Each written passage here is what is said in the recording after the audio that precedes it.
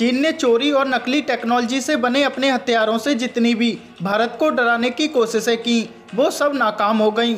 भारत हर मोर्चे पर चीन के साथ आँख में आँख डालकर बात करता रहा, फिर चाहे वह कूटनीतिक मोर्चा हो या फिर सैन्य मोर्चा, क्योंकि पूरी दुनिया के साथ साथ भारत ये अच्छी तरह जानता है कि चीन और चीनी सामान ज़्यादा दिनों तक नहीं टिकता।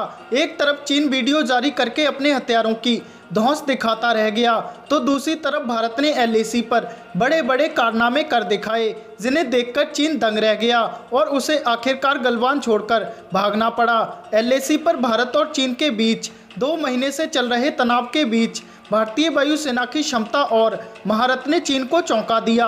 भारतीय वायुसेना ने न केवल बहुत कम वक्त में बहुत तेज़ी से कार्रवाई करते हुए भारतीय सैनिकों और भारी सैनिक साजो सामान को एलएसी तक पहुँचाया बल्कि लड़ाकू एयरक्राफ्ट्स ने दुश्मन पर दबाव बनाए रखा। दरअसल, लद्दाख के ऊँचे और कम ऑक्सीजन वाले वातावरण में एयरक्राफ्ट की क्षमता कम हो जाती है, लेकिन भारतीय वायुसेना ने तनाव शुरू होने के कुछ दिनों के अंदर ही उत्तर प्रदेश और हिमाचल से दो डिवीज़न सेना को लद्दाख पहुँचा दिया।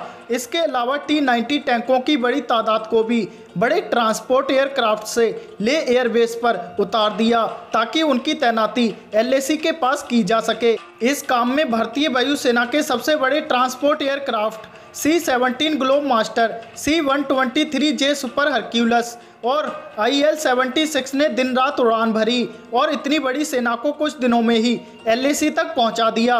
C one twenty three J super Hercules दुनिया की सबसे ऊँची हवाई पट्टी, दौलत बेग ओल्डी पर उतर सकता है और ये बात चीनी सेना पर बड़ा मानसिक दबाव डालती है।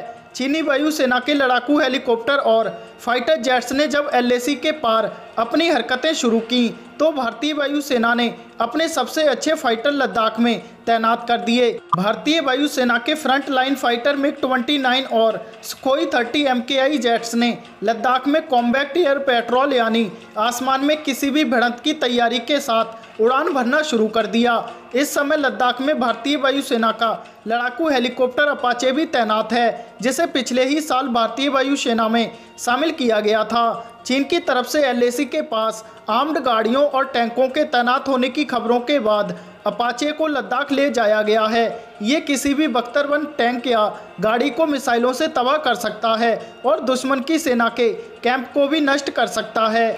हालाँकि अब भारत के दबाव के आगे चीन झुक गया है और उसकी सेना पीछे हट गई है। मगर कहते हैं, चोर चोरी से जाए, मगर हेरा फेरी से नहीं। चीन ना जाने कब धोखे से हमला कर दे और भारत को कोई बड़ा नुकसान उठाना पड़े। इसलिए भारतीय सेना को अभी भी सतर्क रहने की सख्त ज़रूरत है।